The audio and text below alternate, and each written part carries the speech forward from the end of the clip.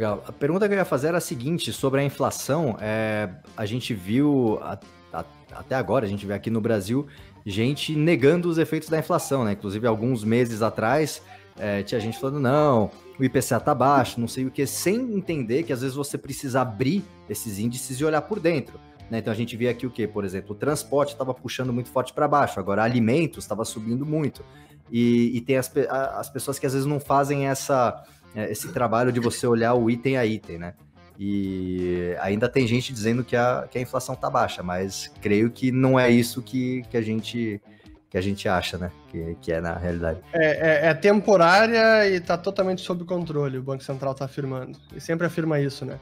Pois então, eu, eu concordo com você e, e até usando de novo as palavras do Stuhlberger, acho que tem uma forma sempre muito fácil de explicar as coisas também. E ele, para mim, ele deu uma explicação muito boa do, sobre o IPCA, que é o seguinte: dentro do IPCA, tudo aquilo que você não pode comprar por causa da pandemia, distanciamento, está caindo de preço. Tudo aquilo que você precisa comprar está subindo de preço. É exatamente isso, né? Você vê passagem aérea, caiu pra caramba. Como antes, antes do Gol tá falando aqui, eu não pego um avião faz seis meses, sete meses. Desde que começou distanciamento, lockdown, etc. Nunca mais peguei pegava avião. Tre... Pegava três semanas. Não três por semana, mas. Uh, me. Pelo menos três vezes por mês pegava. Sim. Então, Agora, alimentos, agora o que fechou no último mês, que foi outubro, alimentos está subindo quase 14% em 12 meses. Pô, isso machuca demais. População que, que tem salário fixo e vive do salário contado mês a mês, isso machuca demais. Não tem como se proteger disso. O cara que vive do salário e não consegue poupar nada, ele não se protege dessa inflação. Ele só é penalizado.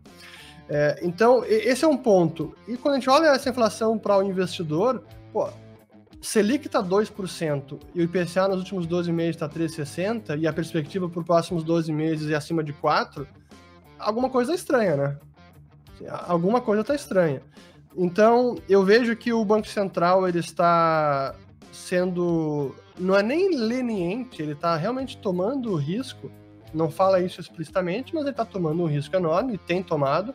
E para mim já se mostrou uma política equivocada, mas aí é um enorme debate porque ele reduziu juros, a curva de juros empinou. Baixou Selic, a curva de juros empinou. Ele baixou os juros, o câmbio subiu. Aí pode dizer, ah, não, o fiscal, o problema é o fiscal. Ok, o fiscal tem um grande uh, peso nessa conta toda, nessa equação, mas não é o único culpado. Tanto é que agora a gente está tendo um problema no, no mercado de.